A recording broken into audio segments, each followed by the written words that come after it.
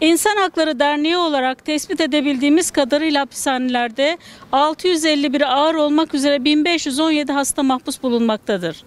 Bu hastaların içerisinde kronik ve çoklu rahatsızlıkları olanlar, akciğer hastaları, kalp hastaları, kanser hastaları, yaşlı ve yaşamını tek başına devam ettiremeyecek kadar hasta olanlar hapishanelerde ısrarla tutulmaya devam edilmektedirler.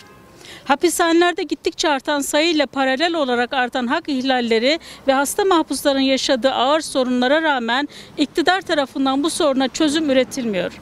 Hapishanede kalamayacak durumda olan ağır hasta mahpuslar tedavilerin önündeki engeller, zorlu koşullar ve ağırlaşmalarına rağmen infazları ertelenmediği için yaşamlarını kaybediyorlar. 12 Temmuz 2023 tarihinde gözaltına alınan Fadime Çelebi 13 Temmuz 2023 tarihinde tutuklanarak Edirne L tipi kapalı hapishanesine konuldu.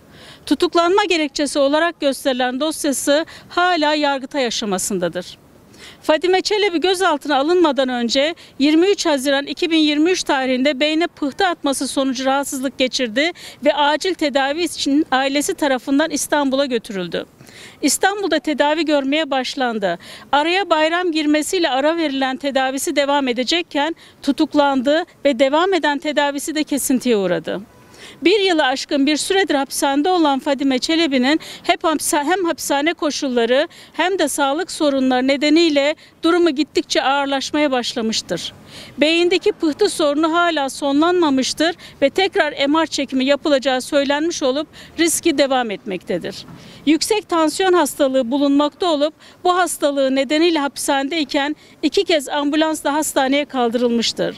Tansiyon için günlük kontroller yapılıyor ve ilaçlar kullanıyor.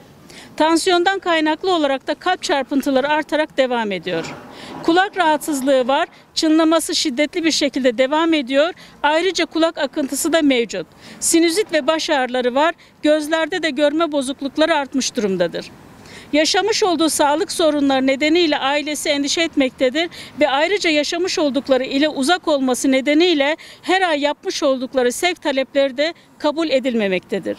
Oysa tutuklu olarak yargılaması devam edebilecekken tutuklanan Fadime Çelebi'nin ailesinden uzak bir yerde tutulması hem sağlığı açısından kendisini olumsuz etkilemekte hem de ailesinin psikolojik desteğinden mahrum bırakmaktadır.